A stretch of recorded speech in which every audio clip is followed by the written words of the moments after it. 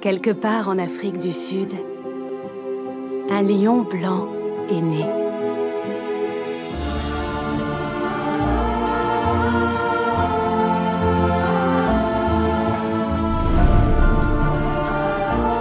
Pour changer la vie d'une famille et surtout celle d'une petite fille.